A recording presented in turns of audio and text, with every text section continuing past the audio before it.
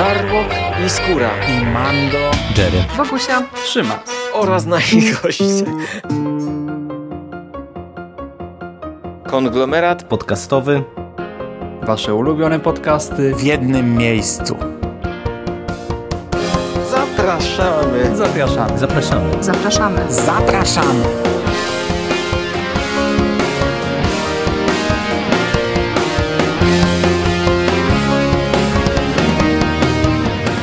Witam w konglomeracie podcastowym, czyli na platformie, która zbiera wszystkie Wasze ulubione podcasty w jednym miejscu.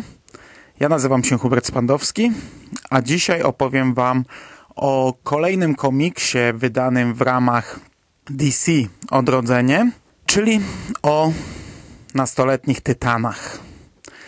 I teraz tak, każda recenzja w internecie, na jaką trafiłem, zaczyna się od takiego pierwszego akapitu, w którym autor pisze o tym, jakim wielkim zaskoczeniem było dla niego wydanie tego komiksu na polskim rynku. No ja się z tym oczywiście zgadzam.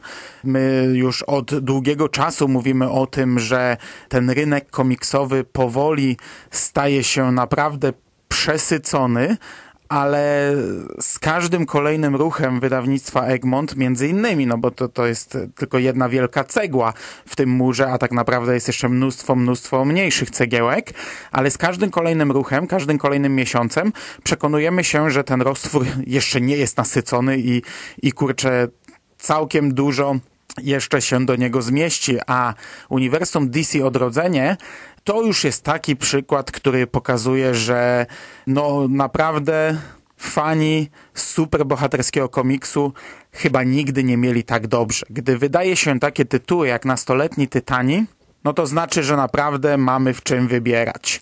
Ja tę recenzję zacznę trochę inaczej, to znaczy już ją zacząłem standardowo, wstęp rozrasta się do gigantycznych rozmiarów, ale powiem tak, dla mnie to nie było zaskoczenie, ale tylko i wyłącznie dlatego, że w ogóle nawet nie myślałem o wydaniu tego, bo ja nie znałem do tej pory nastoletnich tytanów.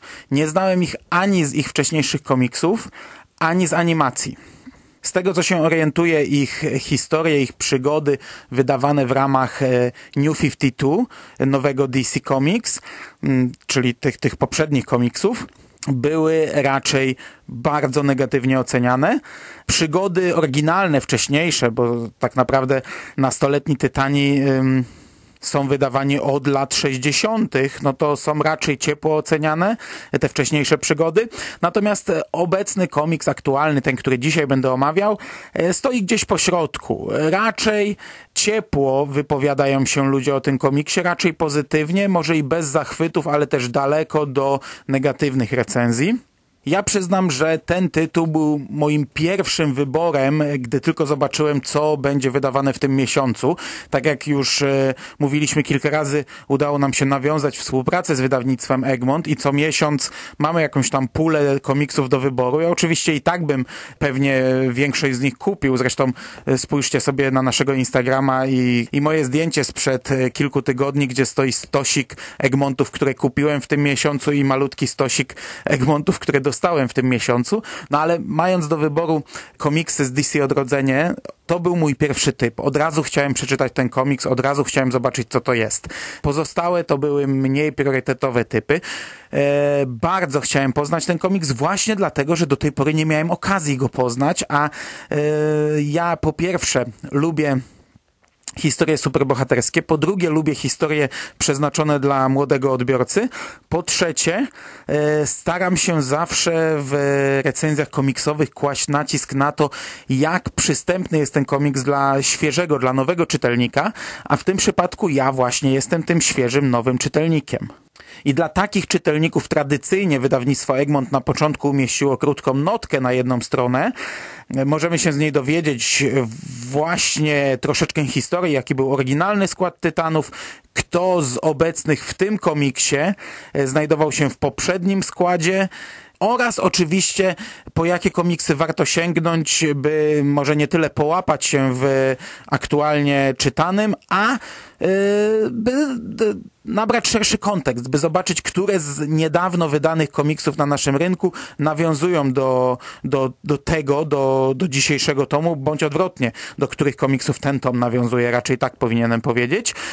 To jest ogólnie fajne, mi się to podoba, to jest takie, takie nakręcanie trochę, promowanie komiksów, które już nie są świeżynkami, ale po które warto sięgnąć, jeśli ten komiks Ci się spodobał, żeby poznać jakieś poboczne historie, które gdzieś tutaj są może wspomniane. Oczywiście pytanie, na ile taka notka jest potrzebna. Żeby zrozumieć sam komiks, ona absolutnie nie jest potrzebna, ale mnie się to podoba. To jest, to jest fajny, fajny ruch ze strony wydawców. Ja szczerze czytając komiks, bardzo często w momencie, gdy pojawia się jakaś postać, e, wracam do tej notki, pomimo, że za chwilę gdzieś tutaj i tak padnie imię tej postaci, pomimo, że za chwilę i tak przytoczą jej historię, ja wracam, żeby, żeby sobie przypomnieć, kto to jest. E, to czy oczywiście to tylko na samym początku komiksu, nie później, nie? Komiks Damien wie lepiej opowiada właśnie po pierwsze o synu Tali Al Ghul i Bruce'a Wayne'a. E, o chłopcu, który jest aktualnie nowym Robinem i który powołuje drużynę nowych nastoletnich tytanów.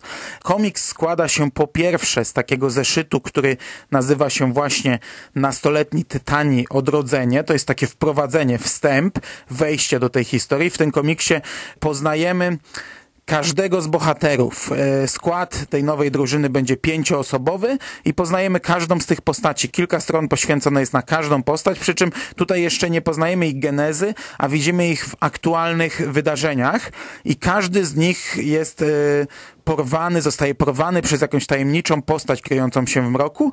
Na końcu dowiadujemy się, że jest to Damien, który właśnie w ten sposób trochę nieszablonowo, nietradycyjnie, siłą, przemocą e, uprowadził tych bohaterów, aby e, powiedzieć im, że chce stworzyć drużynę młodych superbohaterów. Jednak, jak za chwilę się dowiadujemy, to nie jest e, jedyny powód, taka zachcianka widzi się głównego bohatera, e, a dowiadujemy się, że wszyscy oni są na celowniku e, szkółki Razagula, która e, ma na celu szkolenie młodych zabójców, którzy później w, przerodzą się, wstąpią do Ligi Asasynów, gdy zdadzą ten ostatni test, a właśnie tutaj zabójstwo każdego z tych pięciu celów jest testem każdego z pięciu bohaterów stojących po drugiej stronie. I cała fabuła ogranicza się mniej więcej do tego, do pierwszego starcia pomiędzy tymi dwoma drużynami, do drugiego i ostatecznego starcia oraz do e, docierania się drużyny, do przełamania się każdego z tych bohaterów, do pokonania jego własnych konfliktów na drodze, która e, ma doprowadzić ich wszystkich do, do tej roli superbohatera, członka większej drużyny. Ci wszyscy bohaterowie to są troszkę tacy no może nie tyle antybohaterowie, ale są to dzieciaki stojące na rozdrożu. Dzieciaki obciążone jakimś ciężkim dziedzictwem e, i pokaźnym bagażem. To jest e, fajna część tego komiksu. To jest ciekawa część, gdy oni wszyscy e, muszą odnaleźć własną drogę, muszą zerwać e, z często negatywnym dziedzictwem e, swoich przodków a wybrać i rozpocząć swoją własną ścieżkę.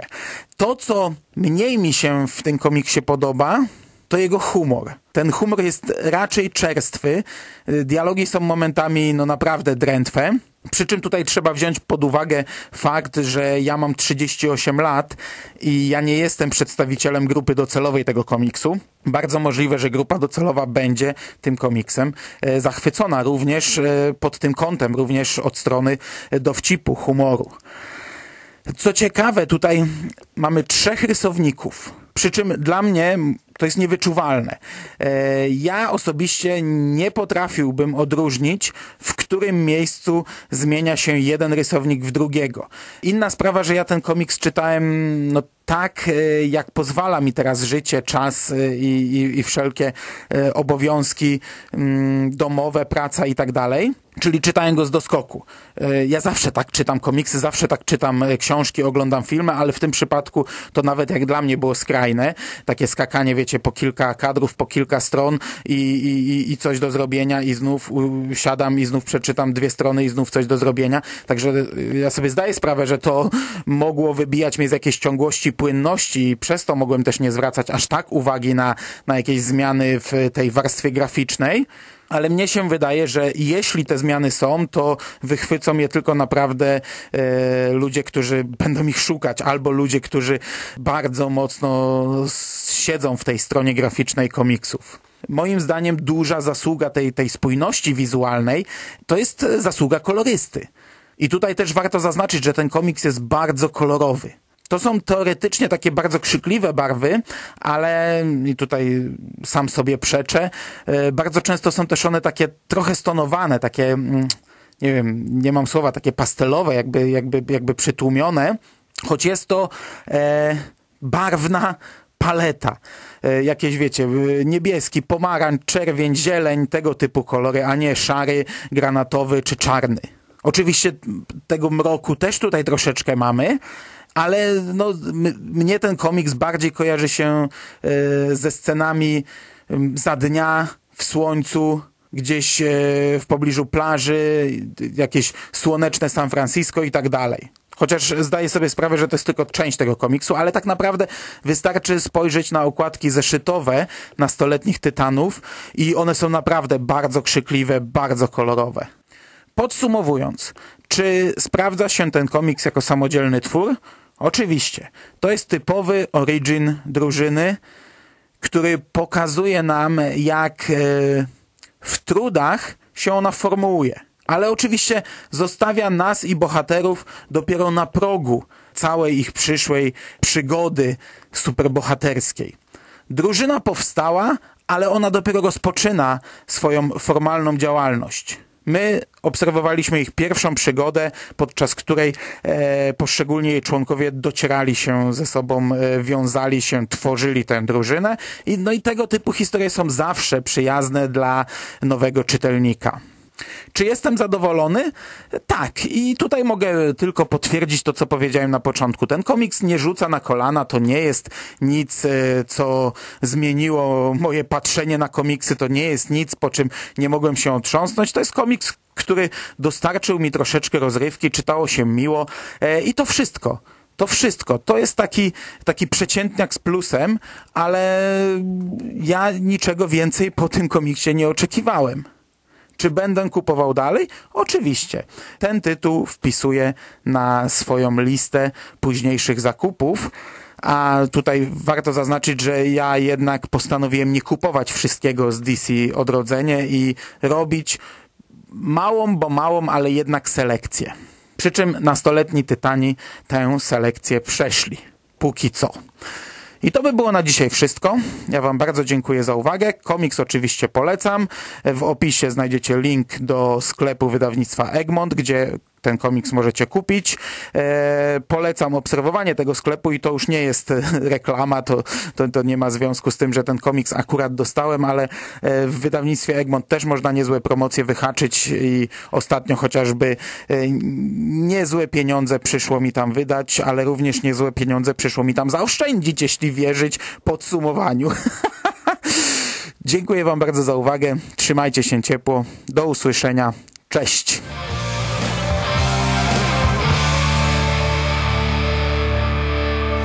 Finished? That's it, man. It's game over, man. It's game over. What the fuck are we gonna do now? What are we gonna do? It's over. Nothing is over! Nothing! You just don't turn it off!